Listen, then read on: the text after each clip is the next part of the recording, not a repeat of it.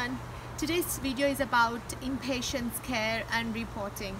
Impatiens is um, this one. This this is Guinea, um, New Guinea impatiens, and it has got lovely flowers, and their vibrancy is so beautiful. They've got so many range of different colors. So this is in pink, um, and this one is also impatiens, but this is not New Guinea. So this has different uh, foliage to this one but the flower is quite smaller than the New Guinea. Easy to grow um, for the for the beginners and also they um, they some of them are perennial which is like all way all the year round you'll see the flowers but these ones specifically are annual ones. Uh, from mid-fall to the um, later spring they bloom all all the season.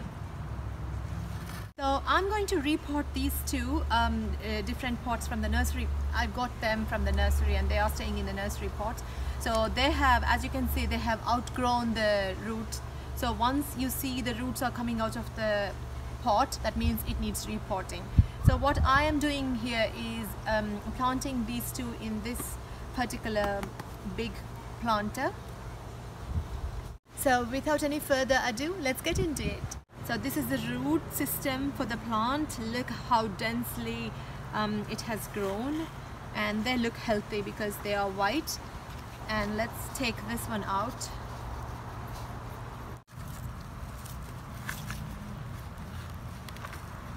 I like to touch the soil as I'm doing without the gloves so um, I can feel the soil and also recently there's a research um, UK scientists have done a research on this one um, that the soil has the beneficial bacteria which is good for the brains which is acting similar to antidepressants. So that's the thing. Impatiens uh, don't like to be in the soggy soil so the soil needs to be well draining. Um, here I'm using the garden soil so you can use any well draining soil which has um, a perlite or coco peat mixture in it. So okay now I am done with repotting as you can see it's completely full. It's okay for the um, for two plants in this planter because this is a big planter and the root system is not quite um, deeply rooted. So it's okay for this one.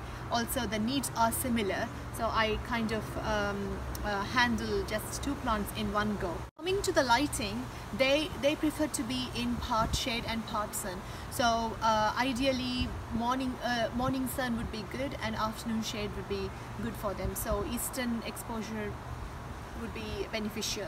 Um, also, when the temperatures drop down below 55 degrees Fahrenheit, then it needs to come indoors if they are in the containers. So they can't tolerate um, frost. To be uh, watered when the soil uh, when the soil begins to dry. They like to be in consistently moist soil. So um, if you overwater them, they are prone to diseases and uh, the roots easily rot so it's better to um, water them as soon as you see the, the leaves are wilted. If you see the leaves are wilted then if you water them immediately they revive um, quite quickly. Overhead watering is definitely a no for this plant. If you do um, then early in the morning um, uh, if you do overhead watering that's fine because even though the leaves and the flowers hold water on the top in the in the day they kind of um, evaporate. So uh, it's better uh, ideally it's better to water it by the um, uh, you know towards the soil.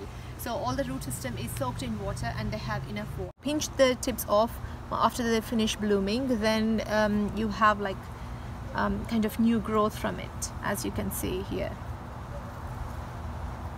Or dried leaves they fall off uh, on their own. Even the flowers fall off on their own. So when you when you see some debris in the soil just clean it off and also keep the area weeded um, as it's a competition for the water. When it comes to fertilizing uh, impatiens are heavy feeders. So feed them water soluble fertilizers once a week and cut back down uh, in winter time uh, when the soil appears to be dry, water them thoroughly before feeding, before the fertilizer. Because um, uh, when you when the when the soil is dry and if you fertilize them, they will be prone to root burn, and then that will damage the plant. And all in all, they are wonderful plants to have for when you are looking for the garden beds or raised beds or filling your garden in general in the gaps uh, and also for the containers for the hanging baskets so that, that's all I can say about impatiens and hope you like my video. Uh, if you do, please give a thumbs up and subscribe to my channel. Thank you for watching. Bye.